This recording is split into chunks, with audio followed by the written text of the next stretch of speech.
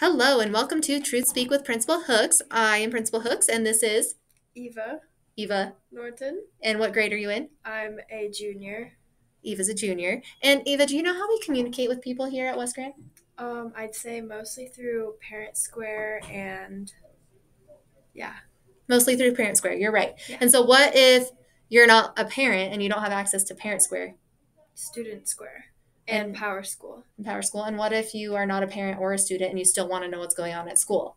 Probably through the newsletter. The chamber newsletter? Yeah. So, yes, Eva is absolutely right. We communicate with parents and students through an app called Parent Square, and um, we also use PowerSchool. That's how students can check grades, parents can check grades. Um, but additionally, if community members would like to see the information that we are pushing out, we have a community group on Parent Square, and you can access that through our website www.wgsd.us and right on the front page you will be able to navigate to a um, a section, I guess, a little square that's called Parent Square for Community. You click on if you would like district communication or K 8 or high school communication, and you just put in your name and contact information to register, and you will get those posts as well. So please spread the word so we, everyone can get the communication they so desire. Additionally, we've been partnering with the Chamber and they have been producing a newsletter and allowing the school to attach our school events to, to the newsletter.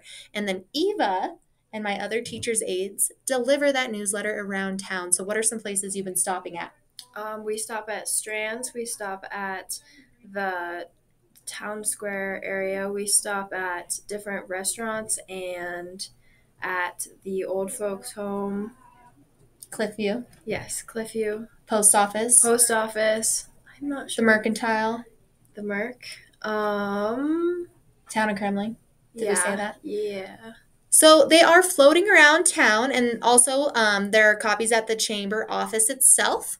If you are looking for us to drop off some of those copies at your business, please let us know. But please spread the word that the information is out there on our district website. You can sign up for Parent Square and get all the same lovely posts that we um, send to parents and students. And then um, the chamber newsletter. Shout out to the chamber for letting us steal some of their space. And um, of course, our district Facebook page usually has a lot of information as well. As always, if you have questions, reach out. And who will respond to them, Eva? Miss Hooks will. And Miss Hooks will respond. All right. Have a great day.